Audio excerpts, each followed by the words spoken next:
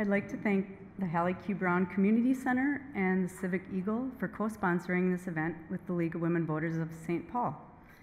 I'd also like to thank Jonathan Palmer and Hannah Gregson from the Hallie Q. Brown Community Center for allowing us to use their venue tonight.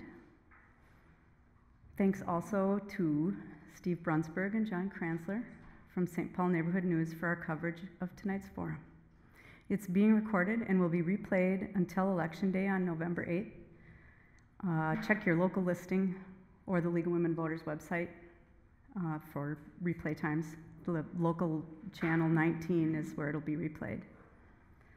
The League of Women Voters sponsors candidate forums to give voters the opportunity to hear and compare each candidate's stands on the issues.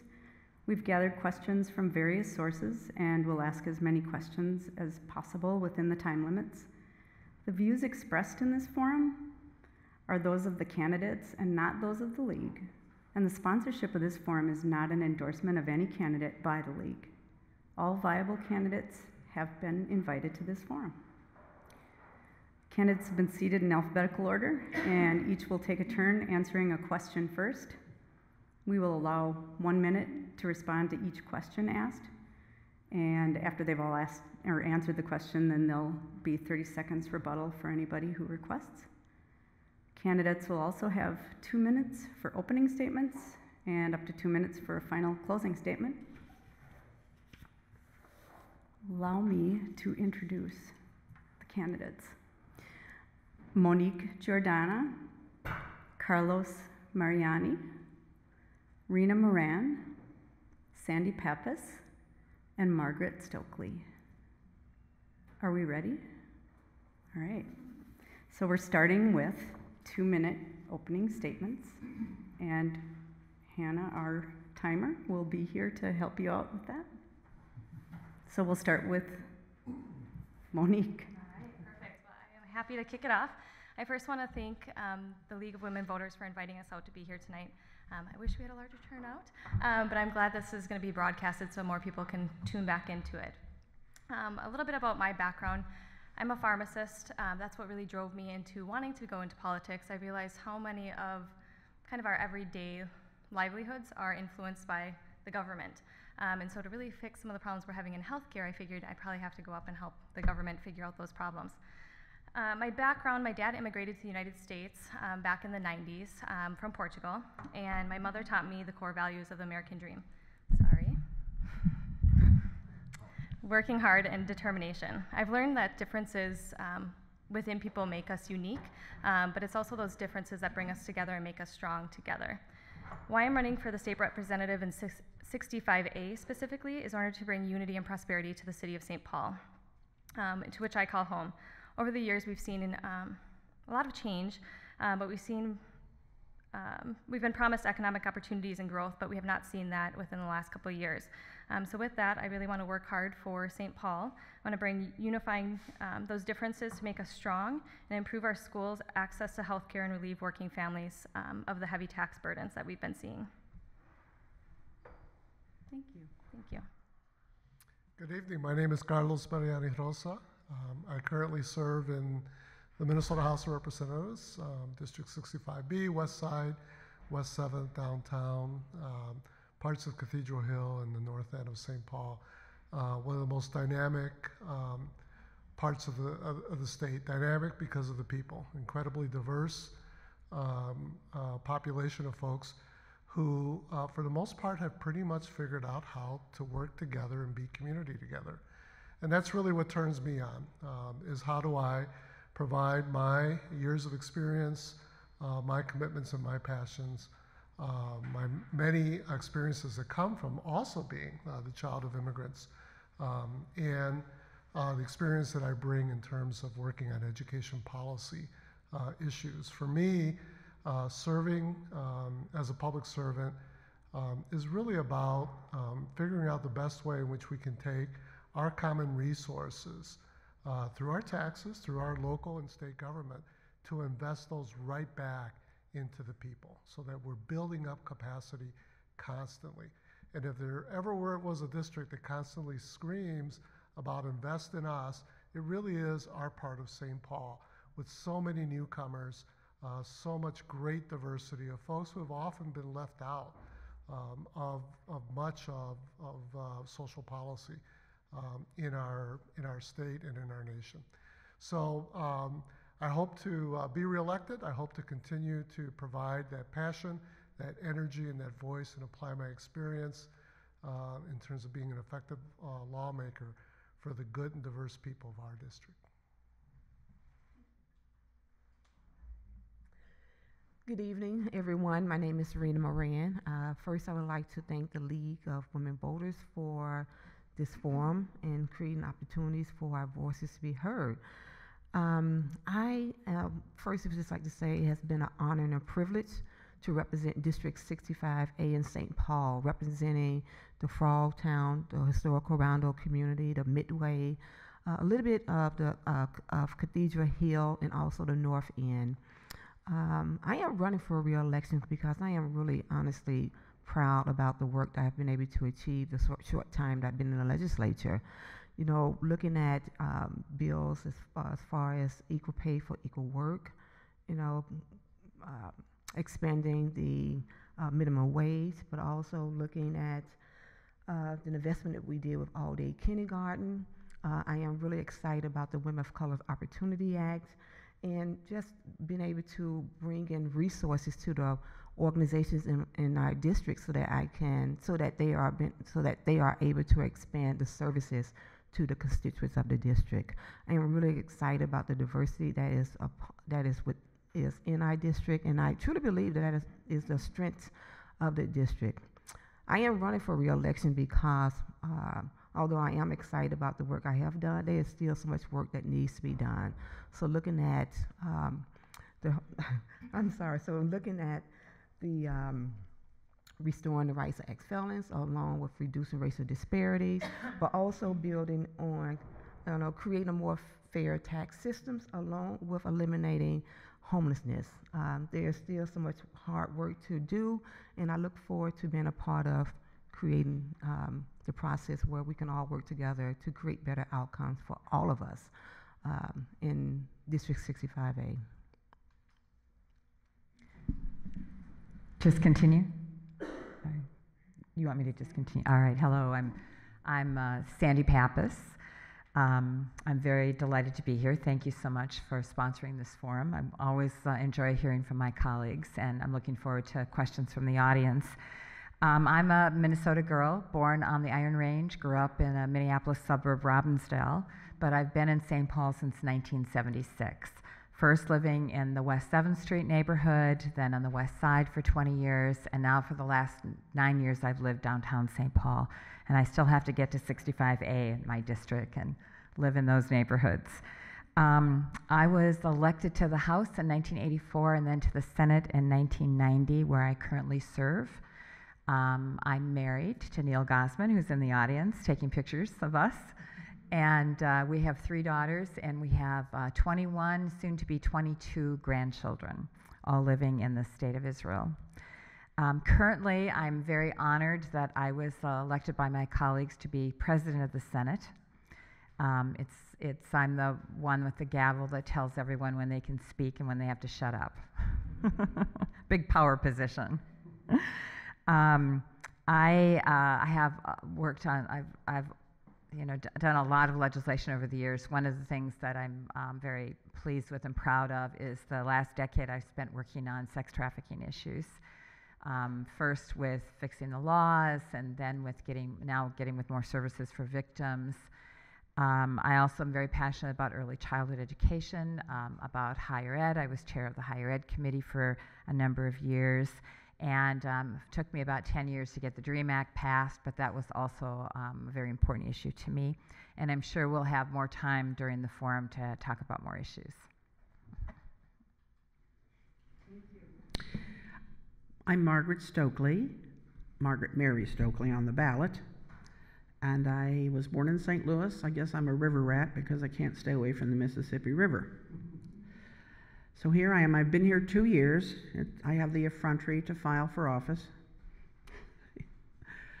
and I'm, I'm hoping to bring a, a, a, diverse viewpoint to the legislature in that my background is probably quite different from the other uh, folks that have been elected. I don't have a college degree, and I've never held a particularly high paying job, and I've raised three children. I've been on welfare, I've been in subsidized housing.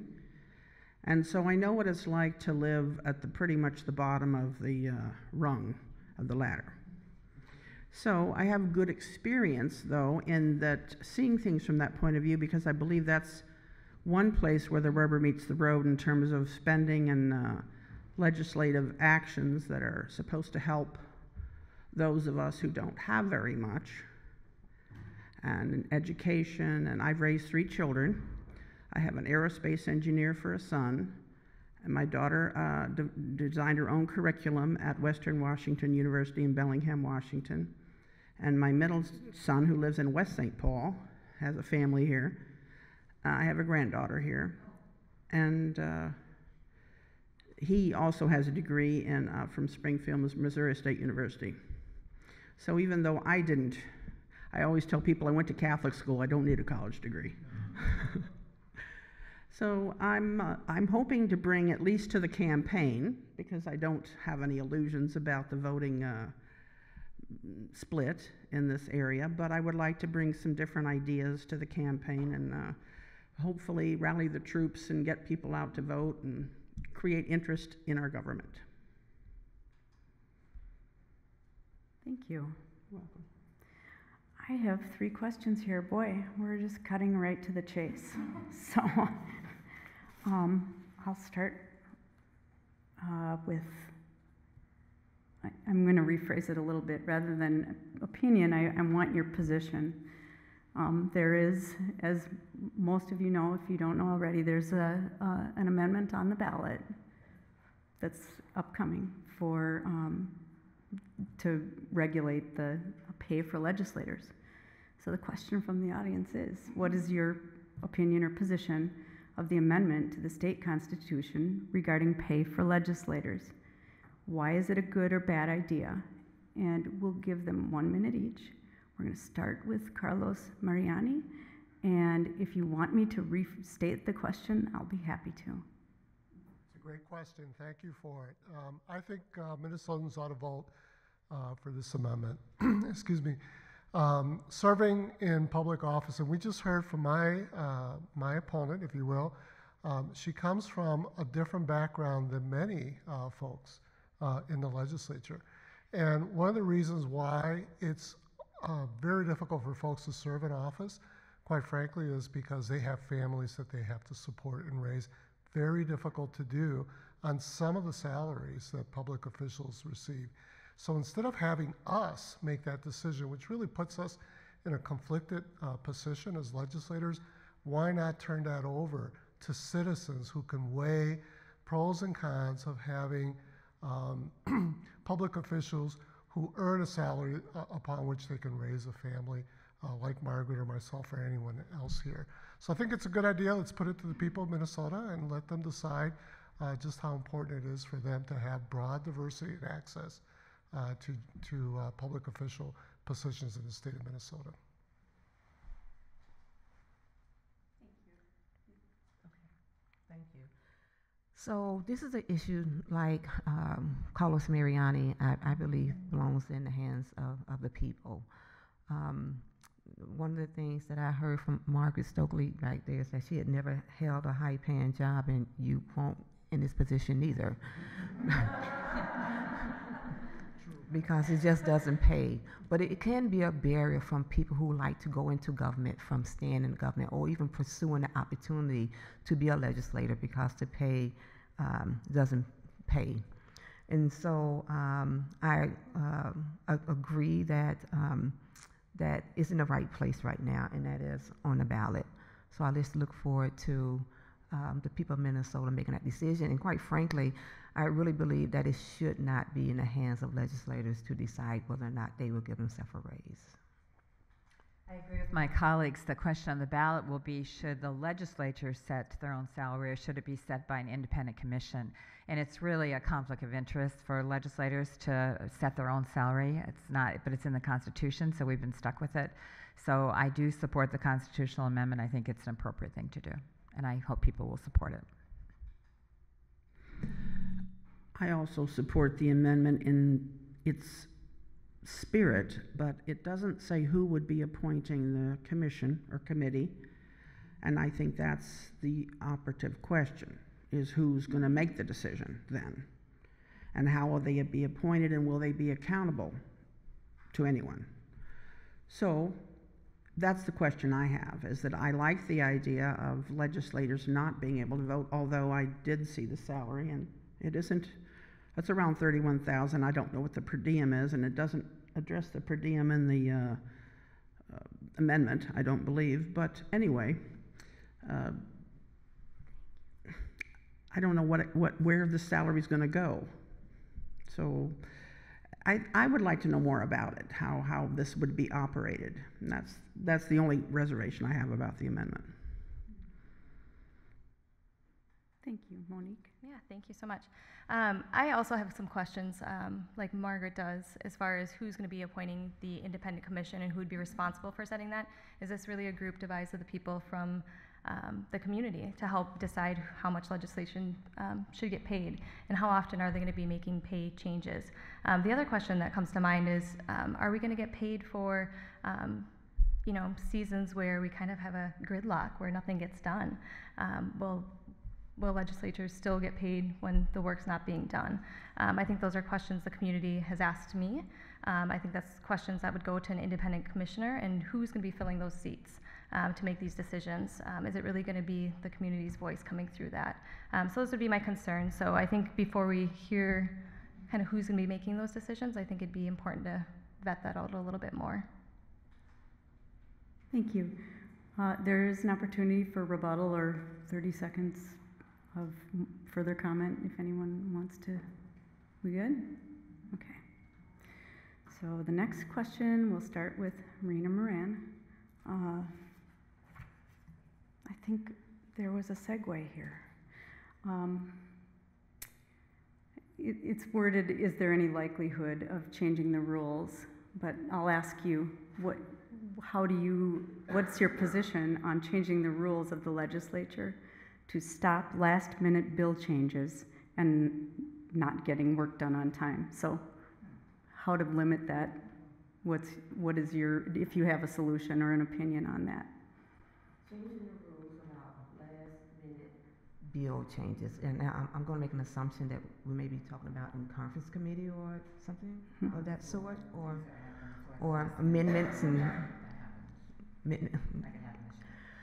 Um, the one thing that, um, I think about, when we think about the gridlock and the dysfunction of the government and not getting the work completed on time is, I think about three words, transparency, public input, and, um, you know, being able to compromise. And I, I think when we look back at this last session, when we didn't get much done, that did not happen in um, a big way. Um, and so, in order to have transparency a part of the process, in order to really have taxpayer knowing where their tax dollars are going, I think we need to have a process in place to ensure that we're being very transparent with the public. Thank you, Sandy Pappas. Yeah, I agree with um, Rena that, and I agree with the question answerer, that what happens the last hour or hours at the legislature at the end of the session is really pretty much inexcusable, where people don't know exactly what's in bills, or things are put in, or things are taken out, and there isn't time to really go over the bill. It's not really the way to run a thoughtful process. And so I hope that we can change the rules to require, um, and we should look at, we'll look into this, and our rules committees can take it up, that we do have a more transparent, orderly process at the end of session. Thank you, Margaret Stokely. Thank you. Well, not having had the experience of being in the legislature, it's hard for me to address it very detailed. However, I've always heard how Minnesota was a state that had a very squeaky, clean, honest government. And I was really looking forward to moving here, especially because of that reason. And I do seem to get that impression tonight from everyone that's spoken. and I like that. I'm happy about that. So I don't know why things don't get done, but it sounds like to me things are just a little too complicated, and I'm I like to simplify things. So however they can be simplified to get things done, but legislators should always read every word of a bill. That's my final statement on that. Thank you. Monique? Great, thank you. Um, I think this is a challenging question, and yet I haven't been faced with this challenge with last minute additions. Um, but you know, this happens to me on a daily basis at work where last minute solutions are brought to the table. And I think there are times where last minute solutions are needed um, to identify common beliefs and bringing people together on what the best solution for the state is, for your district is. Um, so I think sometimes those last minute additions are needed to kind of push people to the right direction. Um, so I don't think necessarily limiting our ability to add those last minute changes um, would be necessarily 100% helpful. Um, but I do think there needs to be some limitations around how drastic of changes can be implemented in the last minute, um, because certainly we can't overhaul everything within the last couple hours of, you know, session. So, but I think there needs to be some flexibility so that we can identify common solutions. Thank you. I don't think this is a partisan uh, question. This is an issue about transparency, and it's an issue about the effectiveness of our government. Um, I will say that I've been there for a number of years, and I've seen great reforms over time precisely because we keep electing folks, more and more folks, who care about transparency, who care about uh, being accountable. Does that mean that the process is not perfect? Does that mean that at the very last second, that all sorts of big stuff happen, even stuff that, you know, is, is questionable? No, not at all. It's very human. However, um, I do think that our state is a well operated state. I think our legislative process is a highly functional process.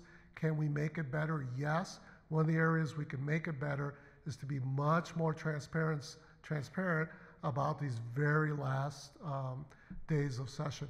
We have wonderful interactions with the public, very open committee processes I love because I get to interact directly with the public who come and offer testimony.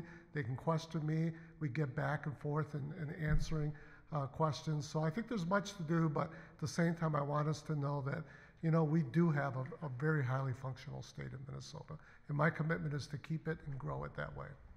Thank you. Could I just say Yes, additional? 30 um, seconds. I Yes, just ma'am. wanted to say that unfortunately it's not realistic to read every word of every bill. We have, the bills are hundreds of pages, but it does mean that we have to have a lot of trust in our staff. So when our staff tells us what's in the bill, we have summaries of the bill, that it's accurate and we can rely on that, and that we have to have trust for each other. So that when questions are asked about what's included or what's not included or what changes have been made, I mean, um, authors of bills are expected to explain on the floor what the changes were made in conference committee. And we rely on each other to be trustworthy, and generally that does work. And when there is a breakdown in it, though, it certainly creates a problem. Thank you. Is there anyone else that would like to comment? I, I think, you know, um, I would support some type of timetable that we'll have in place for, like, really for in, important bills. I mean, every bill should be important, right? But those that are costly, so that when bills are introduced, there's a process about going through that, so that it would be really clear, really transparent, and then again, would really allow for that, um, the public input. Uh, instead of in the wee hours of the night, we're making these final decisions. So for those really important bills, that we should have some type of timetable. Thank you. Is Margaret Stokely? Yes, I'd like to say in, in uh, response to Senator Pappas' comment about not being able to read every word of the bill, I'm running basically from a constituent point of view. I'm not running as a legislator or a would-be legislator or a wannabe legislator. I'm running as a constituent, and I look at things as constituents do. I want my elected officials to read every word of a bill. If there's too many words to read, then it's too big. It's got too much junk in it. Let's take the junk out, and so you can read it. And that's my that's my position. Thank you. Anyone else? Carlos? Just quick pause. Uh, um, uh, You'd be surprised how much legislators do read uh, bills because some of them really literally are hundreds of pages long. It's very complicated legal jargonese. Uh, we sit on those floors in the House and the Senate, and often we're reading uh, those bills more than once. Uh, and the proof is in the pudding when we get up and debate them because we challenge each other. Well, Representative Mariani, do you know what's in your bill? And yes, I do. On page 10, you know, it says this and this and that. So, um, and, and that's true, I think, of both sides of the aisle. Uh, I think we have, for the most part, really good professionals representing us. Thank you. May I? We- Yes, we, 30 seconds. Absolutely. Professional is a word that seems to be loaded a bit. Because what does that mean exactly? It means someone who has integrity, I suppose, or many other things that we expect from someone who claims to be a professional or is a professional. However, I still think that each person should earn trust by reading the bill. Thank you. I am going to switch to, uh,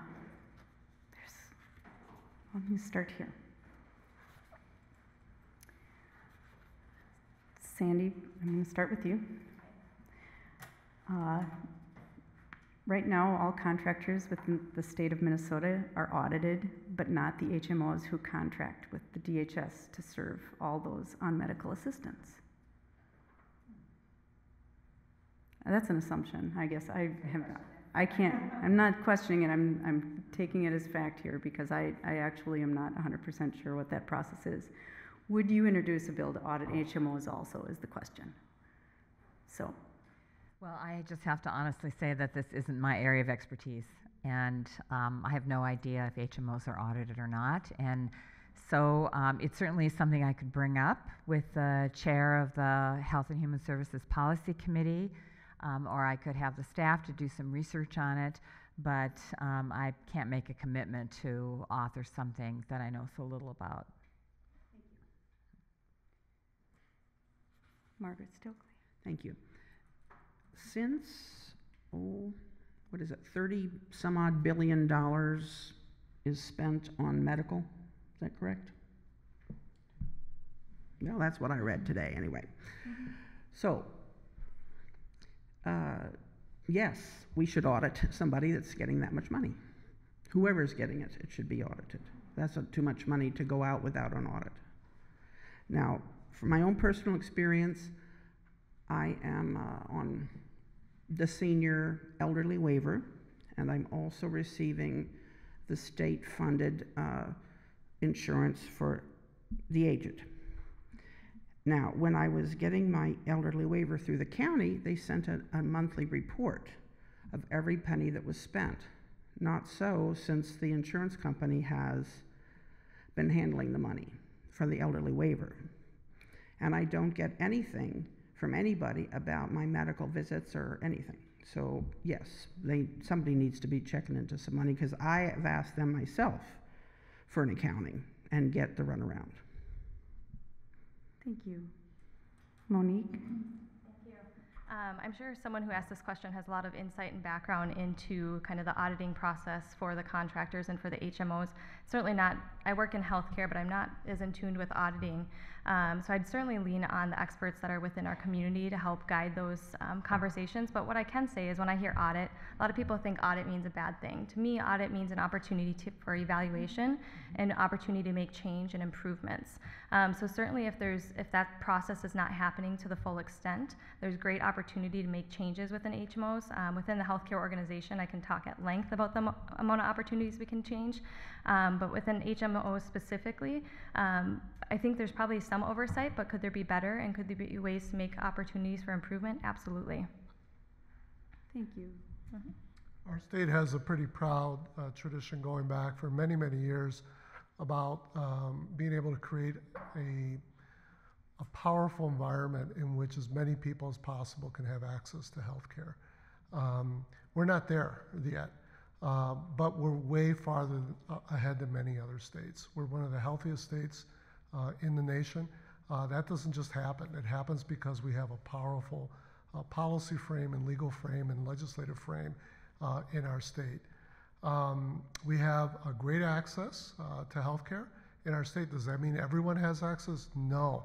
The challenge continues before us. Um, if auditing helps us to get closer to that, then yes, absolutely. And um, uh, my colleague here is correct. Auditing uh, is a lot about being able to learn about from people's behaviors, uh, to be able to adjust performance, uh, to be able to evaluate and do things differently. Um, I don't know this area of law, so I will certainly, I'm certainly challenged to now go out and find more about what the, the status is. Uh, but I think it's a great question to have a high expectation of our HMOs in our state, consistent with our traditions in Minnesota. Thank you. Rena? So, um, I believe that it's, it's really important as a state entity that we are doing our, our, it is our duty and responsibility to work to ensure that any state dollars that are being spent or allocated within any department, including, you know, the healthcare department, which we do spend an abundance of dollars around healthcare, that at some point, if there's a need for the HMOs to be audited, then I think as a as an individual, as a legislative representing District 65A, I could support that. Thank you. Yes, um, please. I do have to say, Minnesota does have some really great health care. Um, the unfortunate thing is access to that health care. Um, working within a hospital, I work at Regions Hospital within the Cancer Care Center as a pharmacist, and I can tell you access to health care is not easy for people within our district or within our state. Um, certainly, the government has pushed um, for everyone to be insured, but just because you're insured does not guarantee you access, nor does it guarantee you coverage for the care that you do need. Um, so I think it's an, an area that we definitely need to spend a little bit more time um, evaluating what we can do. So maybe audits to improve kind of the performance of these programs um, would be a great start. Thank you. Thank you. Anyone else? All right. I want to ask another question about HMOs and um, I'll just read the question because it, it feels right and we're on it and okay. So this is going to be um, Margaret Stokely is going to start. People on medical assistance are forced to choose an HMO for their health care. Could HMO recipients choose fee for service instead? And would you support or introduce a bill to do this? Could you explain what you mean by fee for service exactly? I would have to ask whoever wrote this question. I'm, I'm assuming it would be, rather than just going with one, it would be per, correct, per, per need, as per need. Well, I think that a person should have as many options as possible for their own health care, what they know to be better for them.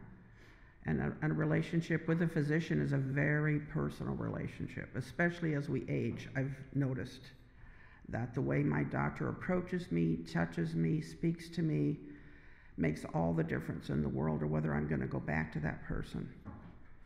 So I guess I can probably digress a bit in that um, I think we should have more options, period.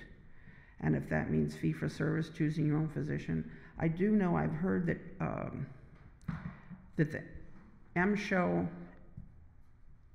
and the ACA, the Affordable Care Act, has problems dovetailing at the level where it's administered, and that some people are finding themselves with their benefits cut off suddenly. And I happen to know somebody personally, but this is someone who works in the office next to them. And so, why is this happening? I don't know. Let's find out.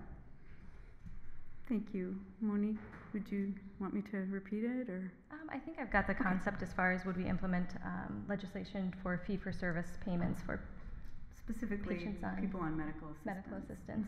Um, so I think that's a great conversation, a great topic. So fee for service is very complex. Um, I think when we're talking about payment for healthcare um, reimbursement for physicians, we have to be careful on how we do that. Um, right now, there's a lot of regulations on healthcare, and it's actually causing a strain in that relationship that physicians can have with their patients, pharmacists can have with their patients, nursing. Um, what's happening within the health cor- care organization is more and more your physician has 10, 15 minutes because of some of the regulations that are coming down um, from the government um, driving what we need to do within a healthcare organization. Um, so I think that's unfortunate. I think everyone in Minnesota should have access to good quality healthcare. Um, we really need to look at how we're spending the money. We're spending a lot of money and wasteful money on MNsure where patients are not having access to the care that they need. There's huge gaps in coverage, leaving patients with huge copays that are not sustainable for the patients or for our economy either. Um, patients should be able to go on the website and know what they're purchasing up front and know what coverage they're getting. I have a family member who went on the MNsure website and unfortunately wasn't covered. Went to go get care and couldn't get care. Thank you. Thank you. So the conundrum is, there's several, uh, and, and one is that even prior to um, ACA to, to MNsure, uh, much of what uh, we just heard um, was existed. Um, it, it was even worse in that for many Minnesotans, there simply was no option, period. Uh, there are at least options now. Are they perfect? Um, do the processes need to be enhanced? Absolutely. The, the question, however, goes at the issue of balancing out uh, cost and containing costs because it's really expensive to provide health care. And I suspect, this is not my area of, of expertise, but I suspect the HMO um, uh, mandate, if you will, has a lot to do with trying to have the taxpayers' costs uh, fixed at a certain rate. And so we're going to be constantly struggling between this issue of my personal choice versus what the rest of society is willing to pay for my personal choice. Uh, I think it's a wonderful debate. We ought to continue to have the debate. We should not, however, go backwards to just simply have a free, so called free market uh, experience like we had prior to ACA. Thank you. Rena Moran. I, I agree. You know, um, we look at healthcare, which is really um, at, you know, before we brought in the Min- MNsure, you know, which is a heavy sub- subject right now, but there were so many within the state of Minnesota who were not covered. And because of, the, uh, because of MNsure, we do have 95% of the population, I believe, who is now covered. Is it perfect? No. But I know personally, as a mother of seven kids, you know, many who have went to college or who are working and working uh, part time who could not afford health care are not able to stay on my health care coverage until the age of 26. Now, someone who do, who had a, a, a previous um, medical, um, oh gosh, what's the word, um, who could not get coverage because- of a previous existing condition, now can have coverage. So, you know, we want good quality health care, but we also want to be affordable. And for that reason, I'm, you know, I am believing that the Medicare medical assistance is connected to the HMOs. Thank you. Sandy Pappas. There hasn't been a lot of discussion lately about uh, single payer systems that would provide universal health care for everyone and would cut out kind of the middleman, the insurance companies. And these are successful healthcare delivery systems in other countries, in Britain, in Canada, and I think in Hawaii, in Israel, where my kids live. Um, and it, it I'm, I'm just struck by a, an immigrant friend of mine who had been and lived in Great Britain said he was really shocked when he came to the US because if he was ill in Great Britain, he went to his community health center and they took care of him and he never got a bill. And it was just simple and it was accessible and, um, and was taken care of. And our healthcare system has gotten so complicated. I know that um, uh, I'm sure that MA recipients um, go to an HMO because it's supposedly a cost containment thing for, um, for taxpayers. Um, but it's not a sa- very satisfactory system. I agree that the copays now have gotten very high, and that and that people will avoid seeking here health care because of either a large deductible or copays. Thank you. Is there any? Um, Yes. So we'll start with Margaret. Thank you. She started, and then we'll just go in rotation if you have. Um, I lived in comments. Canada for eight years. I moved there in 1969 and I left in 1977. And the single payer system there is not federal, it's provincial. So each province is the insurer. And I very much enjoyed it. And I think it works very well as long as you have a non corrupt environment. Canada only had 20 million people at that time that I lived there. So it was a small country and easy to manage things, but it is a wonderful system, I think, and I know it's not the Republican uh, position, but however, I think if it's run properly, it would be very good. And perhaps it could be an option tried out as a pilot. Again, it's another option that the state could be. I guess they're paying out now anyway, but when I was in New Jersey and I first started this Medicare Advantage business came into being where this Blue Cross or whomever would take over everything. Somebody slipped up and told me, I think the premiums were 800 a month for my care, and I was just very upset that the government was paying that much because I didn't need that much. But that's how much, I don't know if it, what it costs because you can't get that answer. Maybe an audit would provide that answer. Thank you. Monique? Um, I think there's a lot of great points brought up. So single payer um, health insurance is not the answer. Um, we've seen a lot of problems with this. My family all lives in Portugal, and so I've seen a lot of issues with single payer health insurance. Um, the government, first of all, cannot afford that. Um, second of all, we should not let our government lead the charge in healthcare. We are not the experts in healthcare from a government. You should let healthcare people run healthcare. Um, second of all, options are not increasing, options are decreasing. Um, within this next 2017, health or individuals are going to have less options for health insurance. Uh, if you look at MNsure, for example, more and more plans are pulling out of having options for health insurance, and then they're also capping the number of individuals they're going to cover, which is a problem. Additionally, they're increasing the cost of these insurance plans up to 67%. So you're already paying a ton for health insurance not having access to care, having gaps of coverage that you can't afford, and now they're increasing the cost to actually get a plan that you can't even afford to get you nothing. So, Thank you. yeah. Carlos?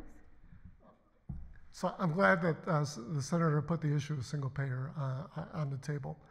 Um, you know, the experts for, for healthcare are also not for-profit insurance providers.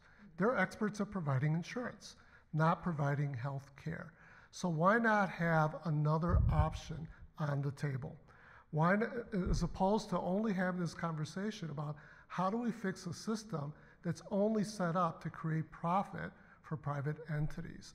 Now, without begrudging that system, can we at least put this other issue uh, on the table? Other nations have done that. I don't know the Portuguese model. Other nations have done it with great success. So let's, I, I, Margaret, I like your idea of a pilot project uh, here in Minnesota on, on a single payer. Uh, you and I, um, uh, uh, maybe we ought to share this seat because we can push uh, that, that idea forward. Thank you.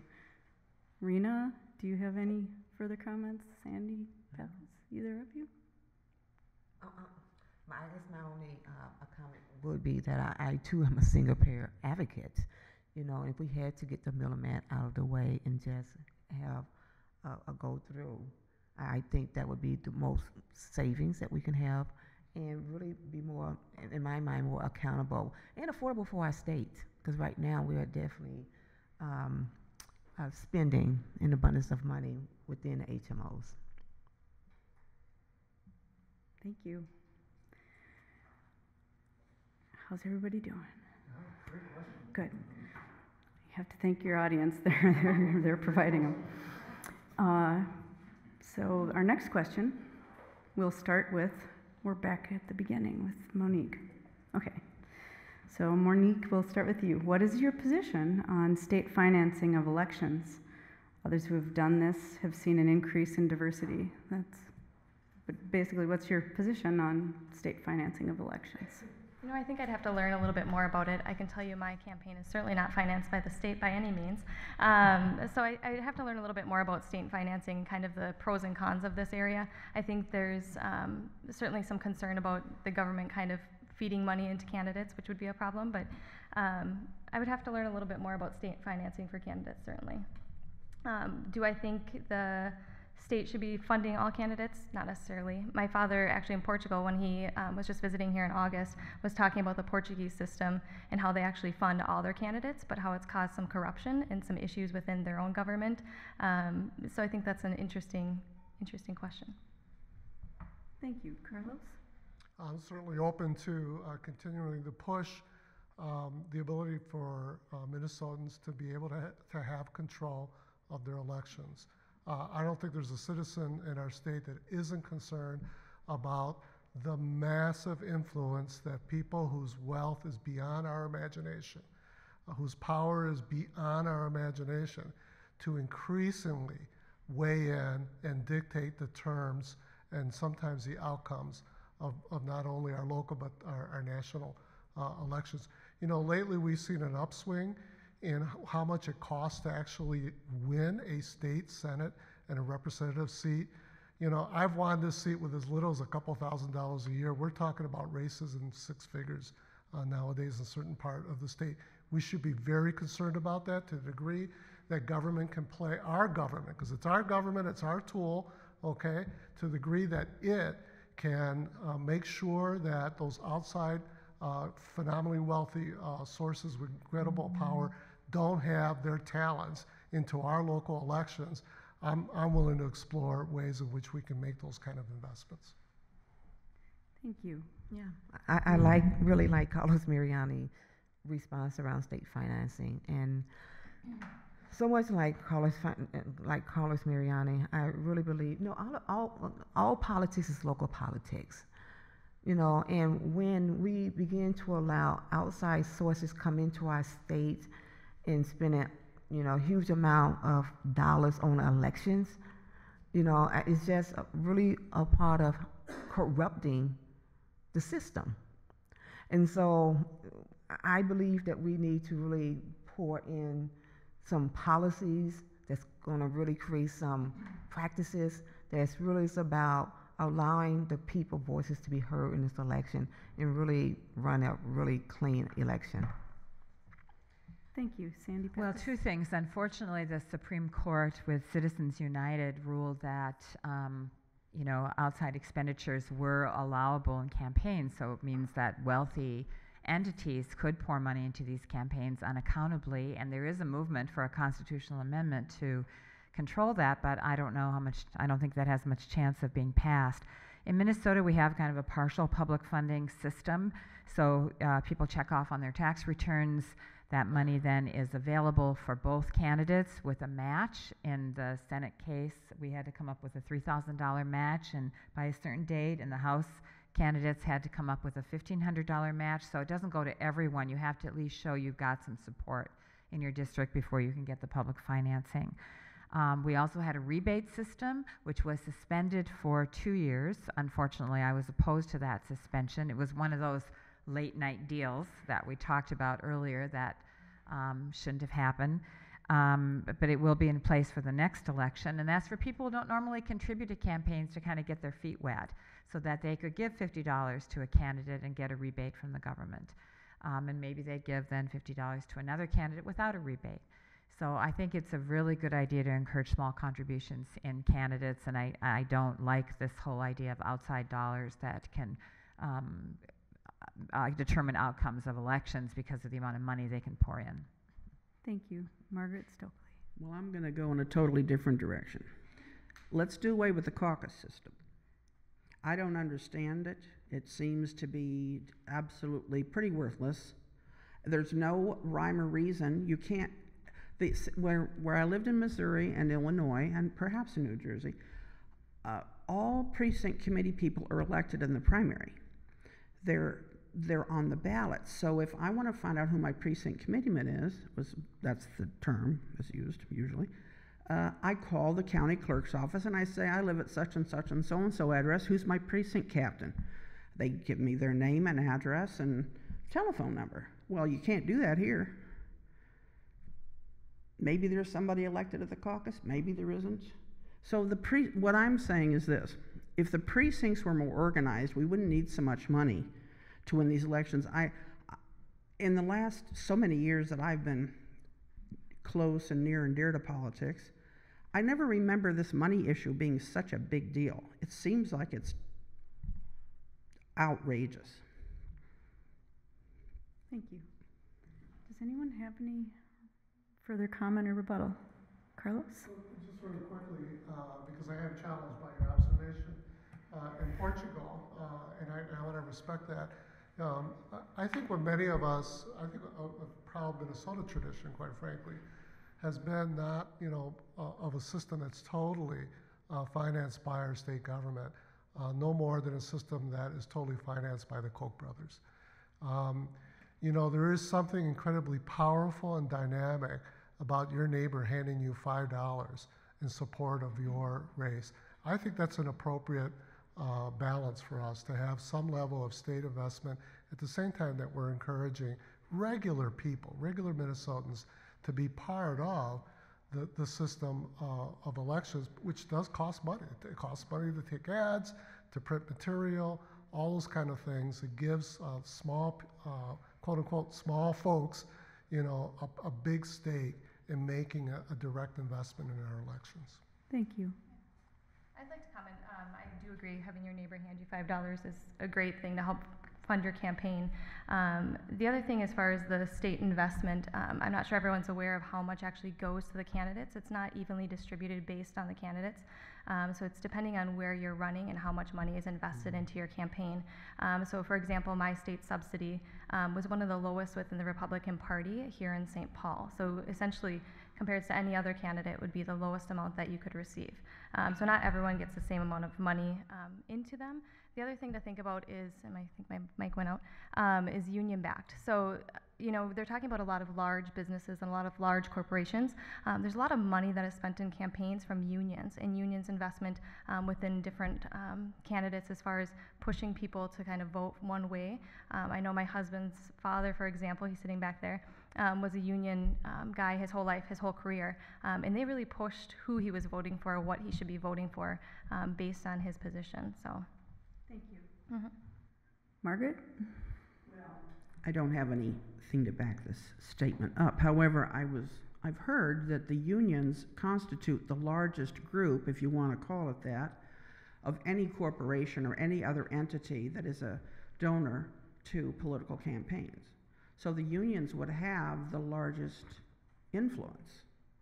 Now, some people rankle at having their union dues go for political campaigns especially if it's not what they want. In one, one woman's case, it was her husband that was running, that the dues were going to somebody else. So there's a lot going on with this issue. Thank you. Can I comment? Uh, so yeah, as a pharmacist at Regions, I'm actually forced to be part of a union. Um, my job was threatened by the union, and it's really interesting to sit at the table by um, SEIU, who backs my candidate, who is or my opposition here at the table, um, to sit at the table when I know my money is going to somebody else at the table instead of actually looking at somebody that works within healthcare um, and where the money should be going. Thank you. Rena? Um, I just want to make a, a little small statement in regards to state financing and um, seems to be this conversation around unions who play a really important lives in, you know, working class people's lives, you know, to make sure that they are getting a good pay, have a good paying job, that um, that they are, um, you know, good practices in, in labor. I mean, they have an important role to play um, in society today, and they're here for a purpose and for a reason. And so, when we look at you know state financing of uh, elections, it's not just about unions. You know, we have a lot of millionaires and private entities who are investing in elections. And at the end of the day, what we want, in, in my mind, is to to have those small contributions that come from uh, our neighbors or community members that are including people in the process and making them a part of the process. And that is what I want to support, and that is what you know I think is important when we talk about financing of campaigns. Thank you. This is a, a long worded question, but I'm going to throw it out there because somebody referenced it and it seems like the right time. So, Carlos, we'll start with you. The city councils of St. Paul, Minneapolis, and Duluth have all passed resolutions requesting that the state request an amendment to the U.S. Constitution stating that corporations are not people and money is not speech. 17 states have done this, two more will in November. Do you support such an amendment or possible amendment? I do. I think the U.S. Supreme Court um, made an egregious uh, decision in error. By the way, you know, it's not unusual for a Supreme Court over time to make boneheaded decisions, you know, uh, um, you know, or decisions that frankly just hurt people. Um, you know, Dred Scott case, for instance, you know, many years ago. Um, you know, the, the separate but equal uh, decisions. So the, the whole point of our system of government is that, yeah, you have Supreme Court that can interpret the Constitution, but you also have the people's elected representative and senators who can then shape laws to interpret as well the Constitution and push, you know, its promise uh, to its people. So, and by the way, that Supreme Court decision, I'm not an attorney, but I read some of the, the, the legal supportive document. You know, it's based on pretty slim, you know, legal arguments.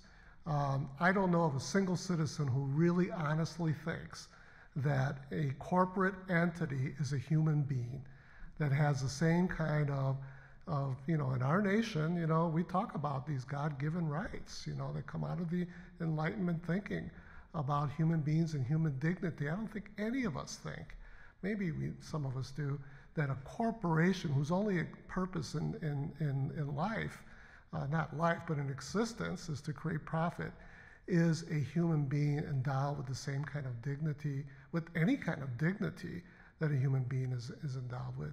So, long overdue. I think it's a great movement. Um, I think we ought to uh, push forward. I suspect, maybe not in my lifetime, that that egregious decision is going to be overturned. Thank you. Rena? Well, really simple. Um, the Supreme Court got it wrong.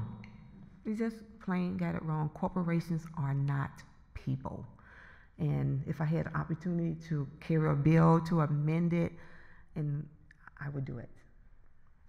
Thank you. Sandy? Yeah, I brought this up earlier, so I definitely uh, disagree with the Supreme Court decision and do support the movement.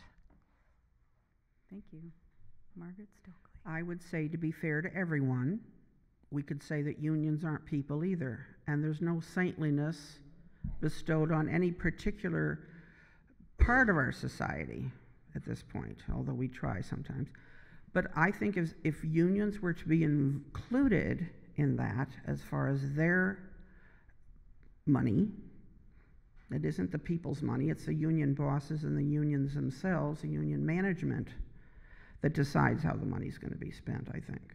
So, if you want to include unions in that, I'd, I'd certainly consider it as fair. I just wanted to add that the ruling did include unions, that they were considered a person, if you will. And so, yeah, I think the movement would curtail the s- outside spending of unions. Thank you. Monique?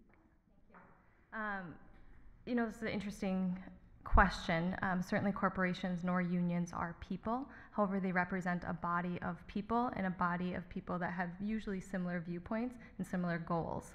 Um, I think the Supreme Court decision was really to create a level playing field for everyone, um, is what they were looking at. Um, but I agree, they're not people, but they do represent the viewpoints of a lot of people, whether it be that everyone within that corporation or everyone in that union agrees with those decisions, necessarily, not necessarily, um, but they are the ones trying to drive um, the mission and vision for that organization, which a lot of people live by.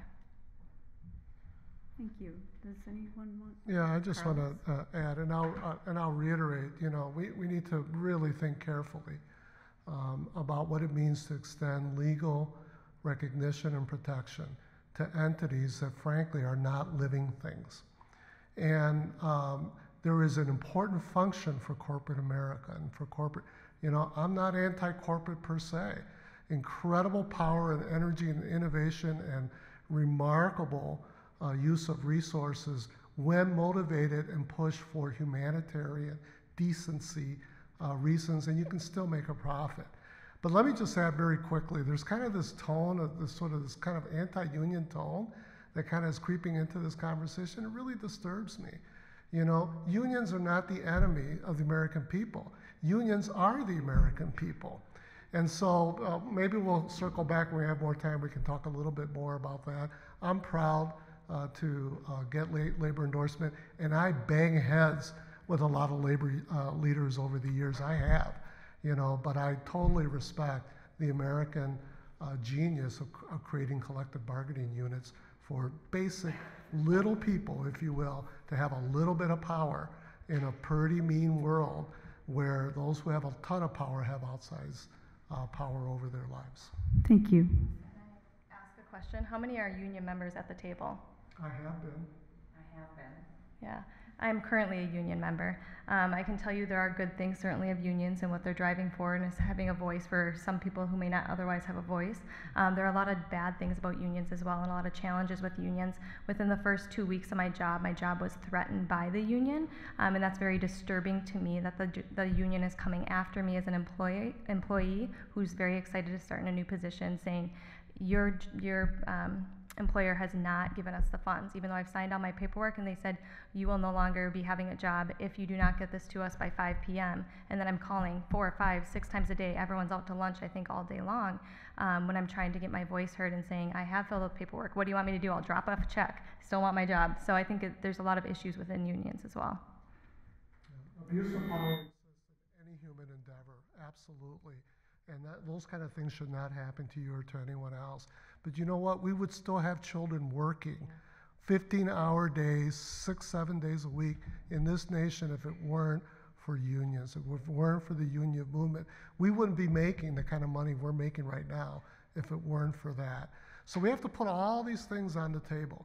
And we have to acknowledge the abuses. And I have banged heads, as I said, with, with labor unions over things that I thought they were bone, boneheaded and, and wrong and maybe even abusive at times. But to dismiss the entire uh, movement, uh, an American genius, you know, to me, I think is us saying no to ourselves. Thank you. Margaret, did you have comment? I'm going to say that when you mention the Koch brothers, it boing. That's what started it. So I'm gonna. You drew first blood. Not that I know even know who these Koch brothers are. I hear their name thrown around a lot. That's the big boogeyman. We're scared of them. But you know, I don't go for this stuff about demonizing people, anybody, and I'm not demonizing unions. I'm just bringing up that they are the largest entity of political donor class. Uh, they outrank every corporate group in the country. So they have enormous power to decide elections, and generally they don't vote Republican. Thank you. I just want to remind us that the union people are American people. That's who they are. Thank you. Is everyone talked out? Any more comments on this question? Okay. Where am I? Rena. I have another question about healthcare.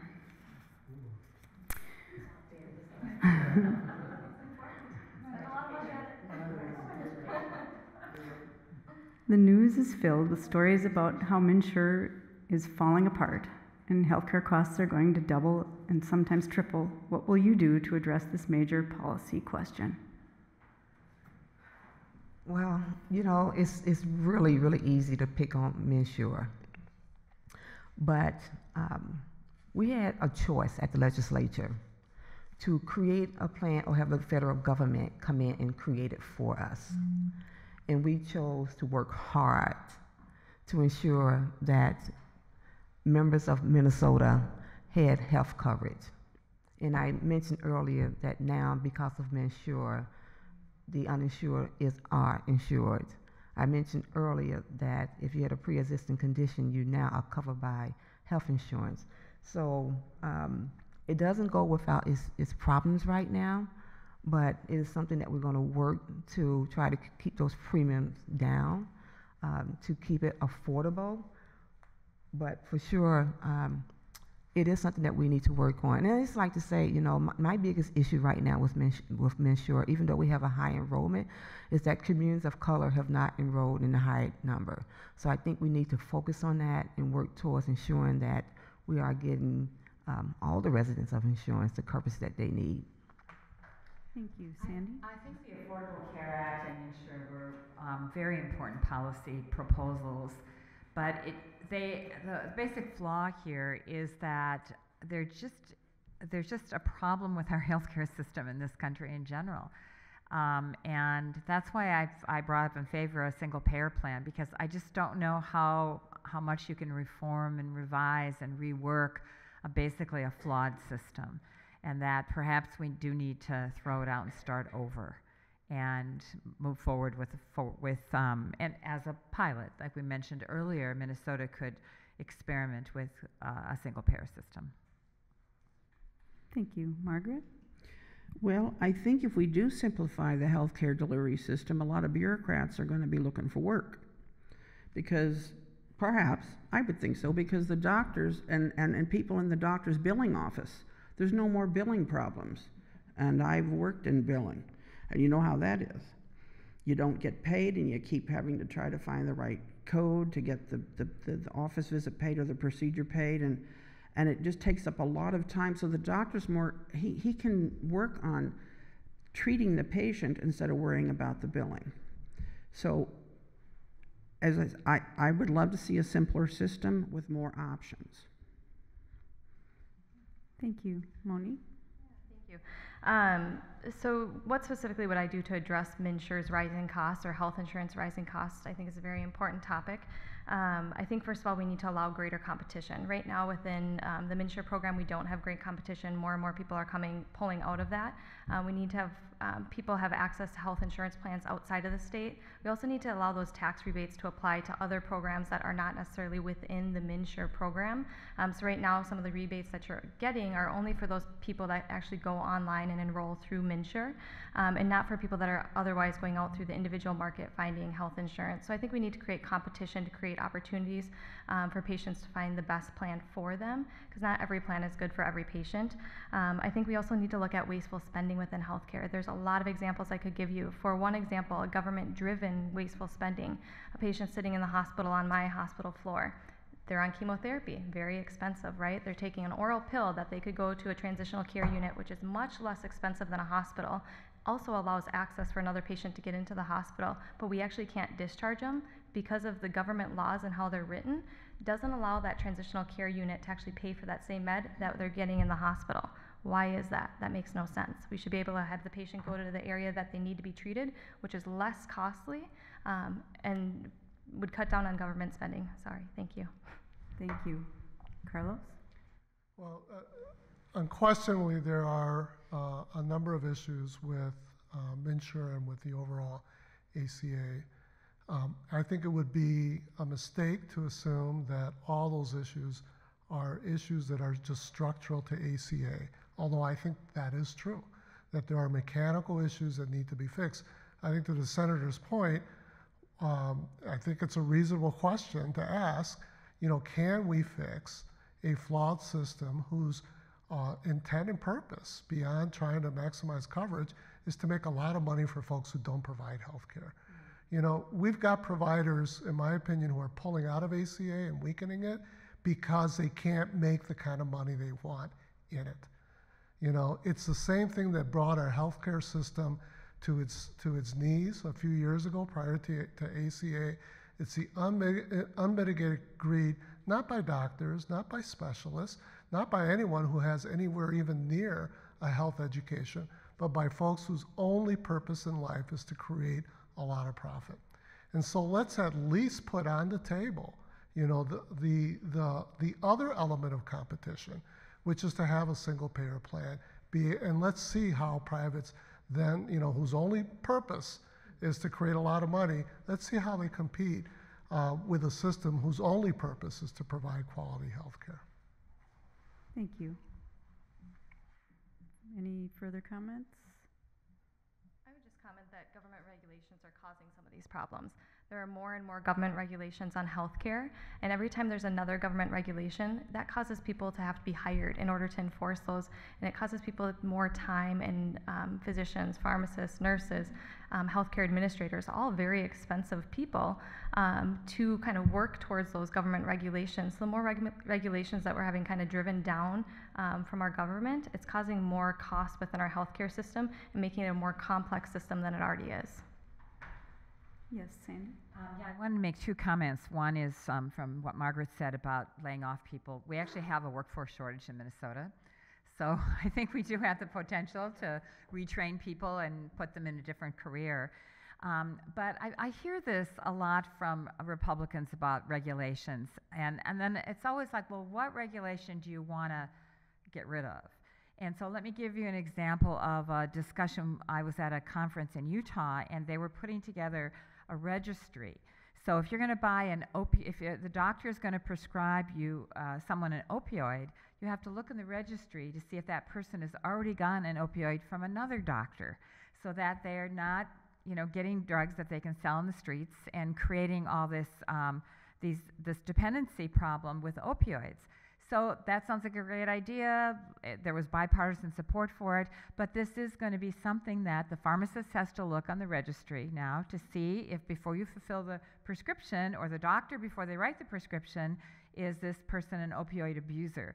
So, you know, I mean, what kind of regulations do we want to get rid of actually? I mean, there's a lot of regulations, and I think we can streamline some of those.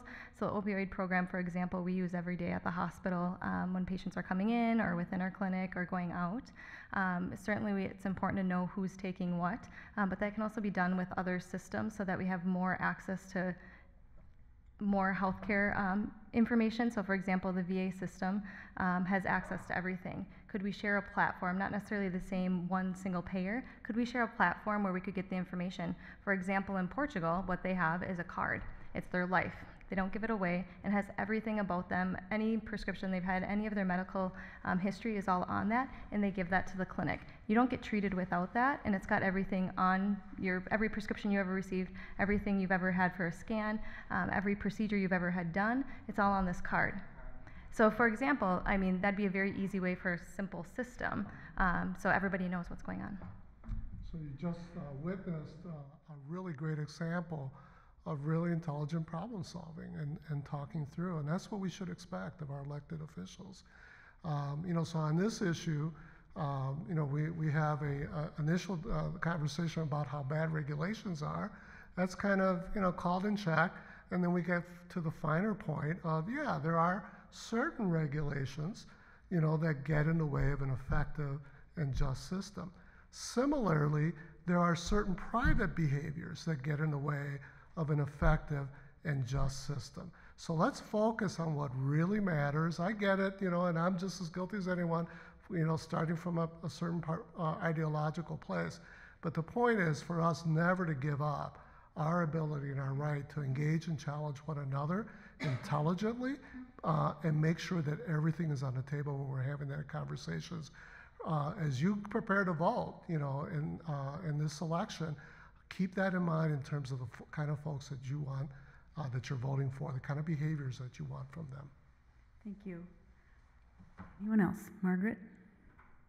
Yes, my question is who would regulate something like that where we have an integrated medical record system so that is that a state purvey or how does that that's a question I have for the for the panel.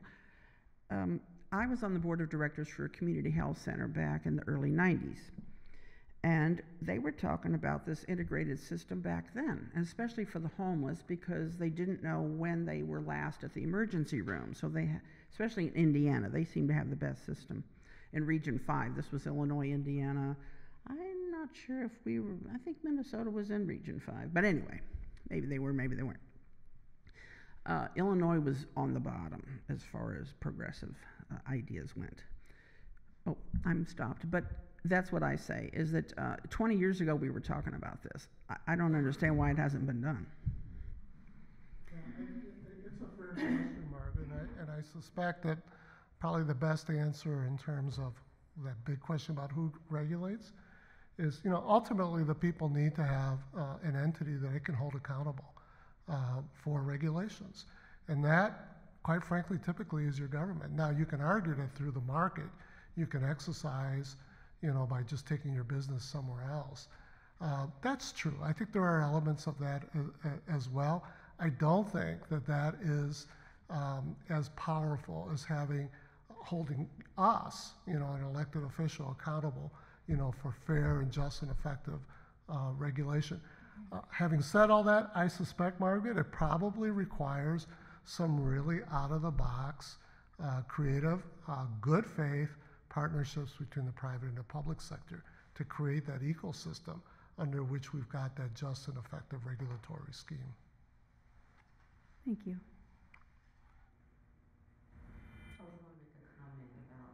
the whole regulations and um, data sharing, but then we always seem to run up against the whole data sharing privacy piece, which becomes hugely uh, a barrier to streamlining or being really effective at, you know, partnering and sharing with different entities.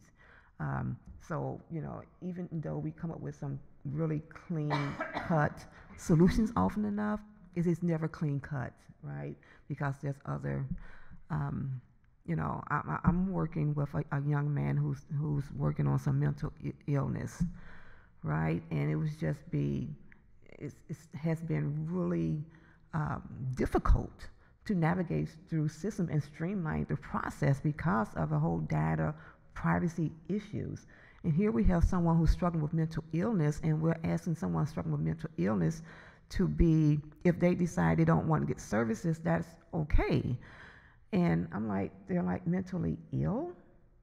So, it, you know, coming up with solutions, coming up with whole data privacy, coming up with streamlining, coming up with uh, a, a way to be most, to be the most effective and efficient seems to just continue to run up with competing ideas about how the best way to do that.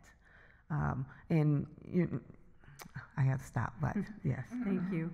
We- I think that if we want a system that's going to work, it has to be as small as possible. A federal system, I don't believe, is the answer. I think perhaps they could have overarching goals, but I think if it's run by the federal government with as large a country as we have, with as diverse a population as we have, and with as many people as we have, that we're just asking for big trouble. So I would like to see the states themselves run an integrated system. And then for records, now that's another matter. But as far as the healthcare delivery, I think the states should be the ones to do it. I don't think the federal government's doing a great job. Thank you. right? You know, it's set up for the states to be able to establish their own exchanges. Um, we, uh, being courageous Minnesotans, did that. Uh, we're learning some painful lessons from that, including the possibility that the system, um, uh, that we may need to replace it with another one. I just don't want us to go backwards. Um, and then there are states who just didn't have the courage at all. And just, you know, even though their healthcare needs, you know, their poverty needs are so much bigger than us, and they basically just sacrifice their low income women and children in, in, in those states. You know, be proud that as Minnesotans, we at least have the courage to try, to innovate. Prior to ACA 10 years before we, we passed MinCare, um, we were one of the first states to do something that bold because we care. Was it perfect? No. You know, is it better than what, say, the, the state of Mississippi does? Heck, yes. A lot better. You know, and it's you that make the, the, these things better by having these kind of engagements and electing thoughtful people uh, to represent you in the legislature. Thank you. We're going to go to closing statements. I, I encourage you, I encourage you to fold your comments and thoughts into your closing statements. You'll have two minutes. It may seem like a long time. If you, if you have something extra that you'd like to contribute other than what's prepared, then please do. We're going to start with Sandy Pappas. Much. Uh, thanks again for holding this forum. There are lots of issues that are important to me and important to you all. I'm sure that we didn't get a chance to discuss today. So I'm just going to mention four that I'll be advocating for, either as an author or to encourage my caucus, the Democratic caucus in the Senate, to take on as a top priority. One um, is universal preschool for all four-year-olds. I think a few years ago we expanded all, kindergarten to be all day, and that was an important step after something I'd advocated for 20 years. Maybe it shows that I haven't been very effective. But um, now I think we need to move to four year olds. Um, paid family leave, uh, one of the few um, industrialized countries that doesn't have paid family and medical leave. I think that's a very important issue. Right now, we only have uh, unpaid leave. Um, paid sick and safe time is something that I've been working on for a number of years. I'm very um, happy that Minneapolis and St. Paul have passed ordinances to implement that for their businesses. They've been good models for us to do it on a statewide level. No um, worker should have to choose between their health, the health of their children, public health, or their paycheck. Um, and then finally, um, something that was in a bill I authored a couple years ago, the Women's Economic Security Act, with um, uh, Senator Moran, uh, Representative Moran also authored parts of that bill, is a retirement program for low wage workers. None of us save enough for retirement but especially low wage workers whose employers don't offer a retirement program have trouble saving for retirement. So we did put money into that bill for a study. That study is coming back this fall, and I hope that we'll be able to move forward with implementation during the 2017 legislative session. I work on a lot of other little bills. Um, uh, sometimes they're a little quirky, sometimes the fun bills. Um, I usually do about 20 or 30 bills, but these are some of my major priorities.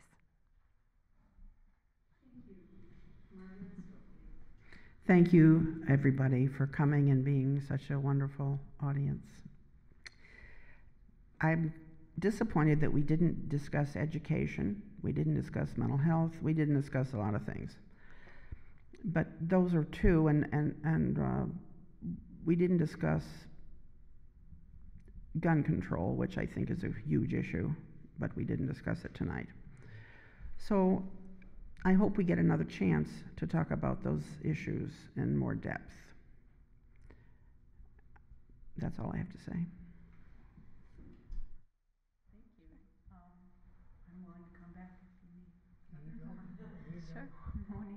Sure. I just wanted to touch really quickly on um, Universal 4K. Um, I'm not very um, comfortable with this program, actually. Um, we've gone to a universal um, preschool, for example, and we haven't seen that impacting our achievement outcomes for our children. We keep investing more and more money within education. And we're not seeing those dollars actually produce outcomes.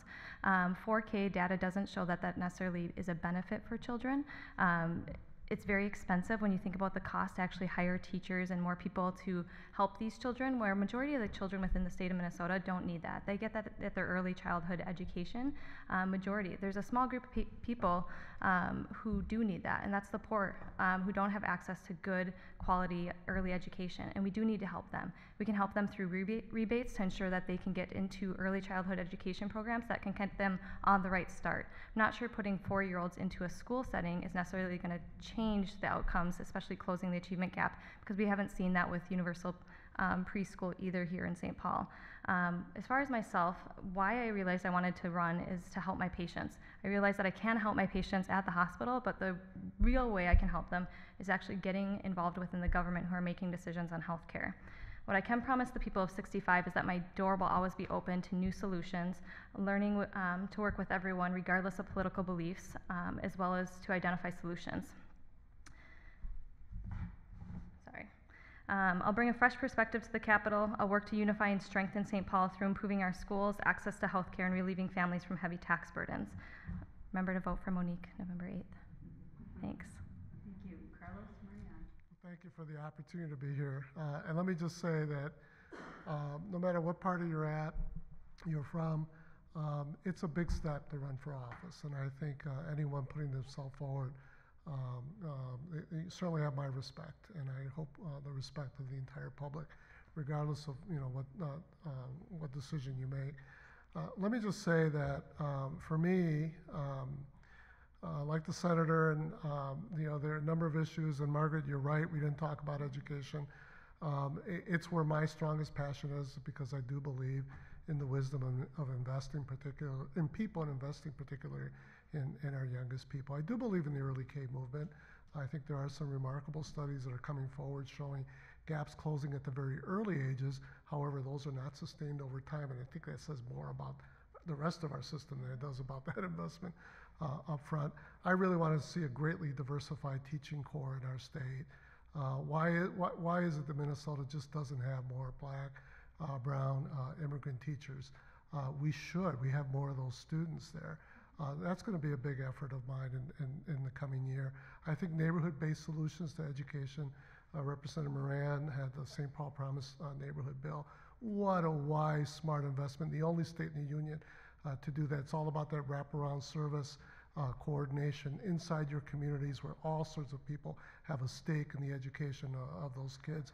Really good piece of legislation. I want to continue to invest in those kind of things. I have a really strong passion uh, because I am the child of immigrants for us to have much more uh, progressive policies around integrating uh, immigrants into our society, greater assistance with small businesses for immigrant uh, businesses, addressing some of the safety issues that these communities face, and helping them to get to citizenship as quickly as possible.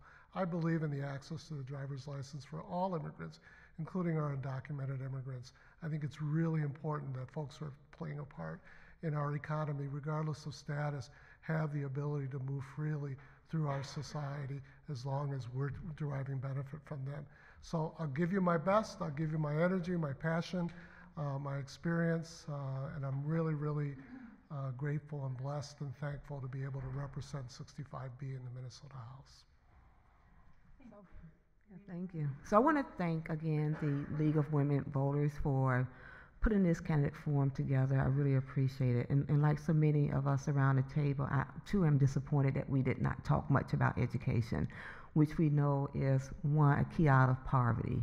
Um, I believe strongly that we need to invest early from zero on to post secondary in education. And we know that when we do invest early, we create better outcomes for kids in school, but also in life. Um, most importantly, I just I'm disappointed that we did not get a chance, or maybe I did not get a chance to focus a little bit more on uh, equity and racial disparities. Uh, racial disparity and the lack of equity exists within all of our systems. Uh, and I do believe that we need to get serious about closing the achievement gap, decreasing African Americans' unemployment and homelessness, and the criminal justice reform. Um, communities of color are facing a crisis, and we have to really uh, begin to make that a priority that we are creating outcomes for all, every resident in the state of Minnesota, um, because this really is unacceptable. I worked hard this last legislative session to invest 35 millions in racial economic disparities and to bring resources into community-based organizations because I believe community-based organizations have the solutions for what is needed for what is needed for their community. They're doing it back. Um, they're doing it. They are transforming lives, and uh, we have to do better in including that in the process at the state level. Um, so what we did this last session was a, a good start but there's more to do. And I am looking forward to uh, winning my reelection so that we can continue to invest in the lives of every child, every family, to create stronger communities, strengthen communities, and make an investment that is make that is worth the investment for great schools, strong families, strong communities. And when we do that, we just create a stronger state. So I look, look forward to working on that in 2017. Thank you. Thank you. That is it. I want to thank all of you for participating. It's not easy to be out there and answering questions. It, it takes a lot of effort and we appreciate it. Uh, I'm going to thank again the Hallie Q. Brown Community Center and Civic Eagle for co-sponsoring with the league. Um, also, Channel 19 is where you can watch the replay on this Thanks to the um, St. Paul Neighborhood News for our coverage tonight. Exercise your franchise on November 8th. Please be sure to vote. And thank you again, and good night.